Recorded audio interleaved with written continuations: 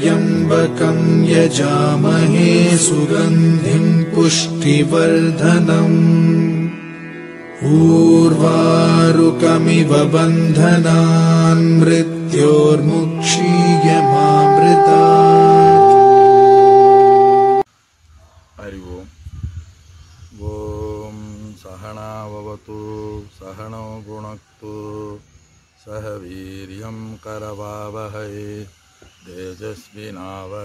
तेजस्विनावदीदमस्तु मा विद्विषावहै ॐ சாந்தி சாந்தி சாந்தி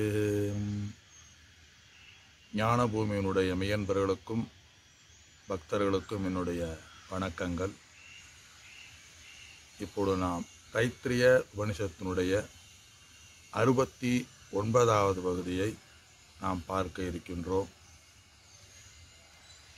தைத்திரிய உபனிஷத் பிரம்மானந்தவள்ளி ஐந்தாவது அணுவாகம். இப்பொழுது நாம் அணுவாகத்தை படித்து அர்த்தம் பார்ப்போம்.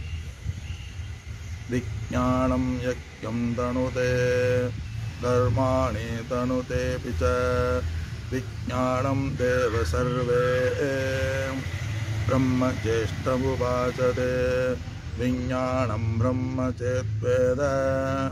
तस्माच्चेन प्रभ प्रमात्यतीं शरीरे पाप्मनो हित्वा सर्वान् कामासमश्नयतीं तस्यै तस्यैष एव சாரீர ஆத்மா எப்பூர்வஸ்ய இந்த அணுவாகத்தில் ஆசிரியர் விஞ்ஞானமய கோஷத்தை அறிமுகம் செய்தார் விஞ்ஞானமய கோஷத்தை பற்றிய கருத்துக்கள் வருகின்றது. சென்ற வகுப்பில் நம்ம நாலாவது அணுவாகத்தில் இறுதியில் விஞ்ஞானமய கோஷம் என்று அறிமுகப்படுத்தினார். எப்படி அறிமுகப்படுத்தினார்? மனோமய கோஷத்துக்கு உள்ள இந்த விஞ்ஞ அந்யோந்தர ஆத்மா. அதற்கு அடுத்து உள்ளே எல்லா இடத்திலும் வியாபிக்கின்ற கர்த்திருத்துவ எண்ணங்களை உடைய விருத்திகளை உடையது விஞ்ஞானமயம். நம்ம ச தேனேச பூர்ணக. அந்த விஞ்ஞானமயமானது மனோமய கோஷத்தில் எல்லா இடத்திலும் நிறைந்து இருக்கின்றது. அந்த இந்த விஞ்ஞானமய கோஷத்துக்கு ஐந்து அங்கங்கள் என்ன அப்படின்னு உபாசனைக்கு நம்ம பார்ப்போம். ஐந்து அங்கங்கள். தலைங்கிற சிரத்தை விளக்கம் பார்த்தோம். ரிதம் தட்சிண பச்ச வலதுகை ரிதம் இடதுகை சம சத்தியம். யோக ஆத்மா சமாதானம். மக பிச்சம் பிரதிஷ்டா மகங்கிறது பால் முதலிய ரிக்வேத மந்திரமானது பின்வருமாறு சொல்கின்றது என்று நம்ம சென்ற வகுப்பில் நம்ம பார்த்தோம். பின்வருமான விஞ்ஞானமய கோஷம்தான் எல்லா காரியங்களையும் எல்லா செயல்களையும் எல்லா யாகங்களையும் செய்கின்றது. அந்த கர்த்தாவாக இந்த விஞ்ஞானமய கோஷம்தான் செய்கின்றது. ஆக இந்த விஞ்ஞானமய கோஷம் என்பது ஒரு எண்ணங்களினுடைய ஒரு விருத்தி எண்ணம் தாட்ஸ் அப்படிம்பாங்க. அந்த தாட்ஸ் என்பது மனோமய கோஷம் இது அது சங்கல்பத்தை செய்யக்கூடியது. நான் செய்கிறேன் நான் ஆசைப்படுகின்றேன் என்ற இச்சை உடையது. இது மனோமய கோஷம். ஆத்மாவினுடைய உபாதியாக இது இருக்கின்றது. அந்த மன நான் செய்கின்றேன். இச்சை உடையது. இச்சையும் சங்கல்பத்தையும் காரியங்களையும் செய்யக்கூடியது. செயல் செய்வதற்கு ஒரு கரணமாக கருவியாக இருக்கக்கூடிய ஒரு விருத்தி ஒரு மனம் மனமயம் என்று பெயர். அந்த மனம் காரியத்தை செய்யும் பொழுது நம்ம ஒரு காரியத்தை செய்யும் மனம்னா நம்ம யாரோ நினச்சி விடக்கூடாது. மனம் உடையவர்கள் மனிதன். அதாவது நான் இந்த காரியத்தை செய்கின்றேன். நான் இப்படிப்பட்டவனாக இருக்கின்றேன். நான் பார்க்கின்றேன். நான் கேட்கின்றேன் என்று நான் கர்த்தா என்ற ஒரு எனக்கு சொந்தம். நான் தான் நான் நான்ங்கிற ஒரு அந்த விருத்தி வந்து அந்த விருத்தி நான்கிறது சுத்த ஆத்மாவைத்தான் அது குறிக்கும். அந்த ஆத்மாவினுடைய உபாதியில் ஆத்மாவுடைய சைதன்ய சுரூபத்தை இந்த விருத்தி இந்த புத்தியானது வாங்கி கொண்டு அந்த புத்தி தானே நான் செய்கின்றேன் நான் செய்கின்றேன் என்ற கர்த்திருவமானது வருகின்றது. அந்த நான் நான் என்கிற ஒரு கர்த்திருவ புத்தி எண்ணங்கள் இந்த விஞ்ஞானமய கோஷம் விஞ்ஞானமயம். இந்த புத்தி எல்லா காரியங்களையும் எல்லா இதுவும் செய்யுது அவ்வளோதான் நம்ம புத்தியில் நிர்ணயம் பண்ணித்தானே எல்லா வேலைக்கு போனால் இவ்வளோ காசு கிடைக்கும் இவ்வளோ பிஸ்னஸ் பண்ணால் இவ்வளோ இருக்கும் நம்ம சென்ற வகுப்புலேயே நம்ம பார்த்தோம். ஆக நான் என்பது ஆக்சுவலி நான் என்பது உள்ளே இருக்கிற ஒரு பரமானந்தத்தை தான் குறிக்கின்றது. பரமானந்தம்ங்கிறது ஆத்மா. ஆத்மா அசங்கக. ஆத்மா வந்து அசங்கக எதுலையுமே ஆத்மா வந்து எதுலேயுமே சம்பந்தப்படாதது.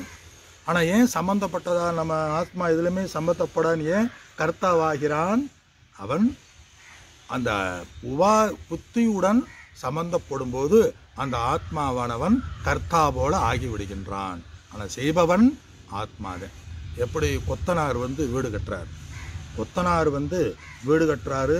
அவர் இந்த கொத்தனாருக்கு வீடு கட்டுற ஞானம் வந்து கொத்தனாருடைய சேர்ந்தது. ஆனால் அதை வீடு கட்டுறதுக்கு ஏற்பாடு செய்கிறது இது யார் எந்த எதனுடைய சக்தியால் அவன் இயங்குகின்றான்?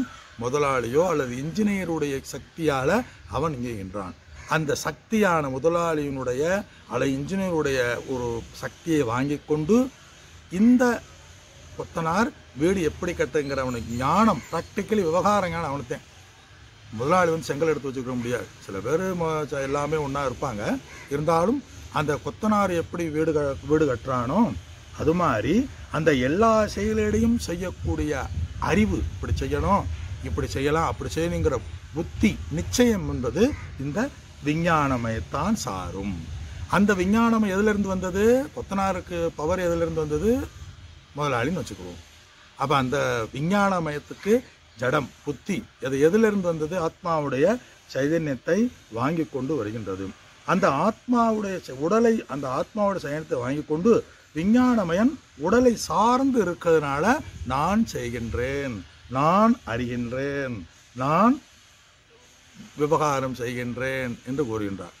எப்படி குடத்துக்குள்ளே இருக்கிற ஆகாசம் குடத்துக்குள்ளே ஒரு கால் இடம் இருக்குது குடத்துக்குள்ளே ஒரு இடம் ஒரு குடத்தை ஒரு இடத்துல இருந்து இனி ஒரு இடத்துக்கு கொண்டு போது குடத்துக்குள்ள ஒரு ஆகாசம் இனி ஒரு ஆகாசத்தோட நம்ம போகிறது மாதிரி நமக்கு தெரியும். குடத்தை தூக்கிட்டு வரும் பொழுது அந்த குட ஆகாசம் போய்கிறது நினைக்கிறோம் குடத்துக்குள்ள ஆகாசம் போகிறதில்ல வருவதில்லை.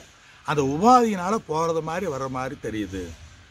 அது மாதிரி இந்த உடலுங்கிற குடத்துக்குள்ள ஒரு ஆகாசம் இருக்குது அந்த ஆகாசம் குடம் எப்படி போதோ வருதோ போதோ மாதிரி வர்ற மாதிரி அந்த ஆத் ஆத்மாவீது ஏற்றி வைக்கப்படுகின்றோம்.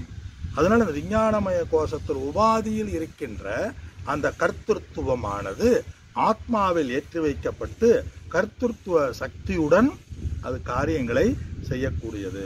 அப்போ கர்த்தத்துவ சக்தியுடன் இந்த விஞ்ஞானமயமானது கரணமான மனோமயத்துடன் இது காரியங்களை செய்கின்றது.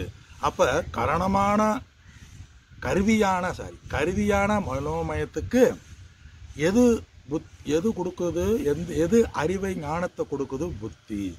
அதனால் இந்த மனோமயம் முழுவதும் என்ன இருக்கிறது? விஞ்ஞானமயமானது இருக்கின்றது.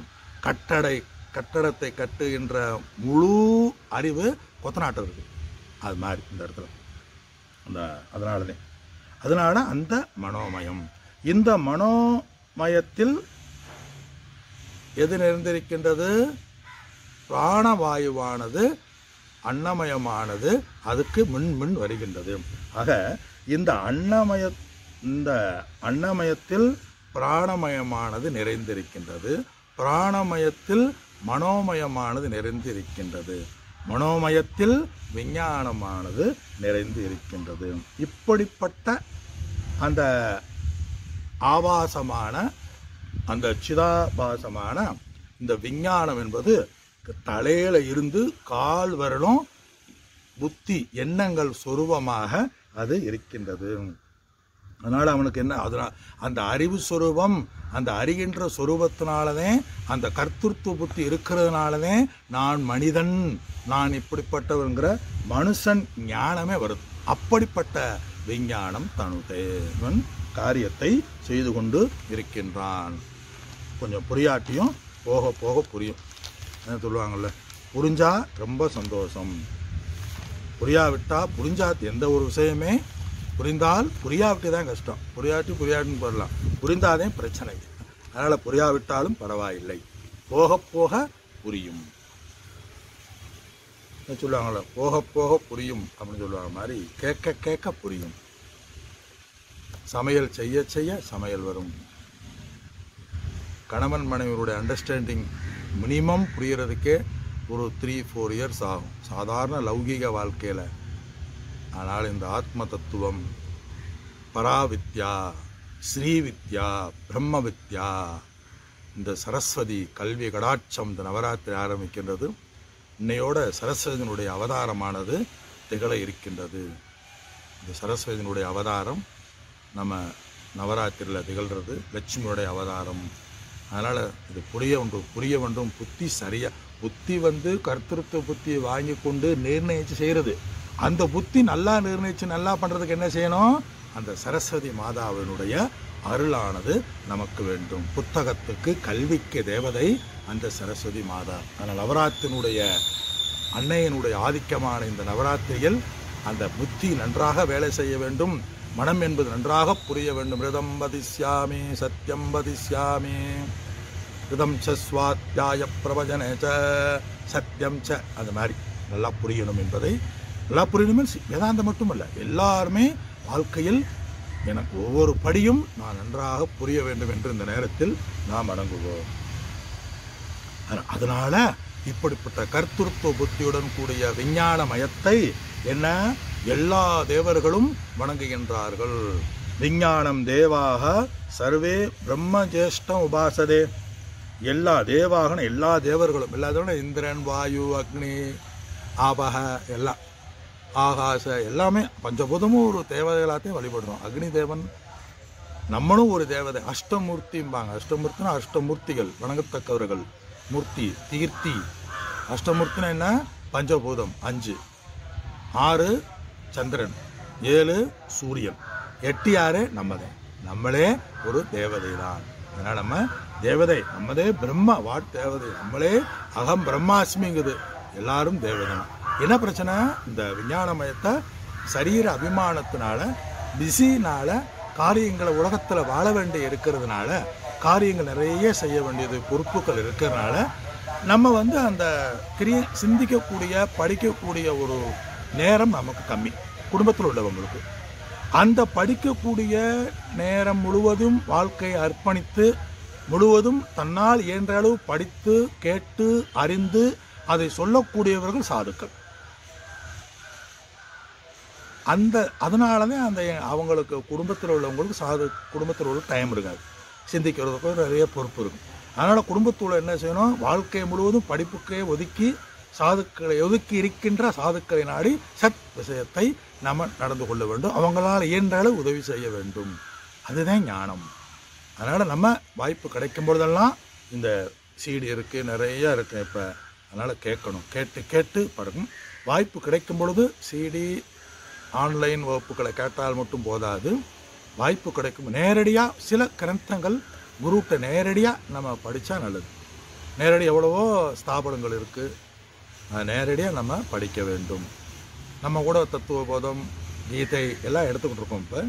தட்சிணாமூர்த்தி ஸ்தோத்திரம். நேரடியாக சில கிரந்தங்கள் நம்ம நேரடியாக கேட்டுட்டா கொஞ்சம் நல்லாயிருக்கும் எப்போவுமே நம்ம நேரடி கே- கேட்க முடியாத பட்சத்தில் ஆன்லைனில் சிடியெல்லாம் கேட்டுக்கிடலாம். சரி அது இருக்கட்டும் எல்லா தேவர்களும் வழிபடுகிறார்கள்.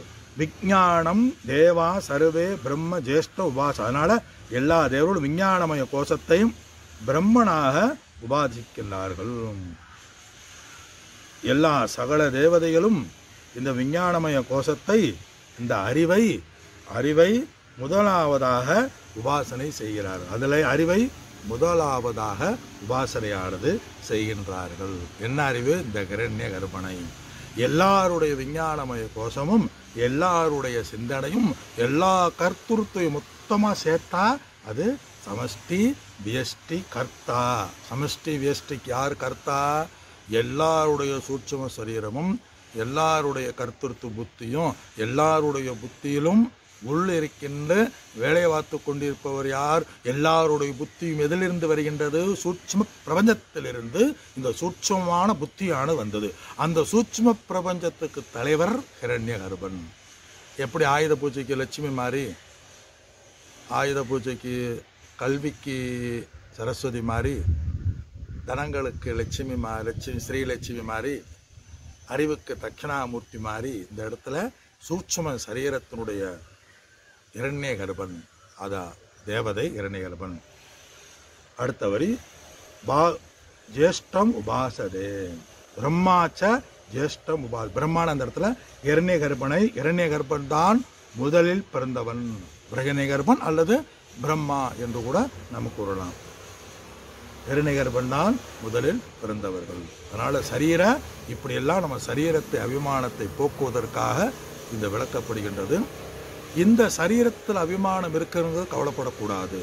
நம்ம யானம் தெரியவில்லையே சரீரத்திலேயே சரீர ரட்சணார்த்தத்திலே நம்ம வாழ்க்கை எப்போதுன்னு கவலைப்படக்கூடாது. இறைவனுடைய படைப்பை அப்படித்தான். எப்படி படைத்தார்? சனகாதி முனிவருடைய கதை வருகின்றது. அதை நாம் நாளை சிந்திப்போம். ஓ